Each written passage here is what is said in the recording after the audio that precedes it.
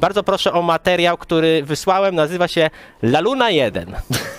Wychodzę do oktagonu z arbuskiem, a jej mężczyzna się wpierdala jak stringi w dupę. Gimper, zluzuj trochę te stringi, bo to, że nie masz jaj u siebie w związku, to już każdy wie, że tam tobą kurwa rzuca ta dziewczyna i rządzi. Ale ty się nie wpierdalaj między pojedynek między mną a, a nią, bo to ja wychodzę z nią do oktagona, nie tobą. Obrońca uciśniony czy jaki chuj? To, że ona nie była znana, to już wiemy, że na moich barach chce się tutaj wypromować ją wziąłeś dlatego, tak samo na twoich, ale jest okej, zgodziła się na walkę, szanuję, podjęła walki, to niech stoi, stoi ona i się tam pruje do mnie, a nie ty się kurwa wypowiadasz na mój temat wiecznie. Kim ty w ogóle jesteś, żeby się wypowiadać na mój temat? Bo tam trąba ci pokaże 14, co to jest pokora.